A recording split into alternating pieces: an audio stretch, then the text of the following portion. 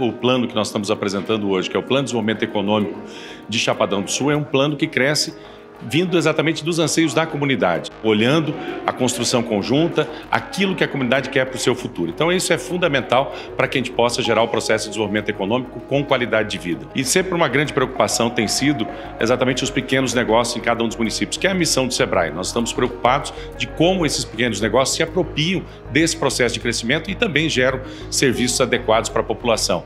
E por isso é importante que o setor público, através de um sistema transparente, dê acesso aos pequenos empresários às compras públicas. Então, nós lançamos um portal que permite a transparência, mas principalmente o acesso é fundamental. Com certeza, nós estamos hoje democratizando o acesso às compras públicas às pequenas empresas do município de Chapadão do Sul.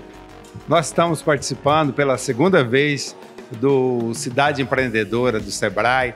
Hoje nós estamos entregando o nosso PDR, que é o Plano de Desenvolvimento Econômico para Chapadão do Sul. Também foi apresentado é, o nosso portal de, de compras da Prefeitura para facilitar os negócios, para cada vez mais é, os recursos que são gerados aqui tem que girar mais dentro do município, trazer para a nossa população emprego e renda cada vez para uma qualidade de vida melhor. Queremos mostrar números à nossa população, queremos trazer novidades, ideias de negócio, é, fortalecimento da associação comercial e das empresas locais. Com isso, a gente espera é, injetar dinheiro público nas empresas locais e gerar emprego e renda a nossa população e otimizar é, o recurso público para os nossos empresários.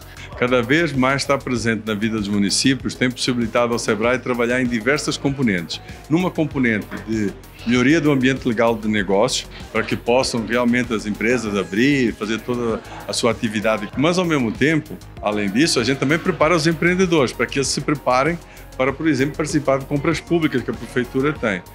E, ao mesmo tempo, a gente, com a parceria da Associação Comercial, do Sindicato Rural do município, a gente consegue fortalecer a atuação do SEBRAE em prol do desenvolvimento do município. Nós não podemos esquecer que o Sebrae cuida da pequena empresa. Então é muito importante fortalecer o ambiente de negócios para que a pequena empresa seja o grande é, desenvolvedor do município e, por conseguinte, os nossos empresários com isso têm a oportunidade de gerar renda e promover o desenvolvimento do município. Que a nossa cidade é uma cidade empreendedora. Praticamente tudo que se inicia vai para frente.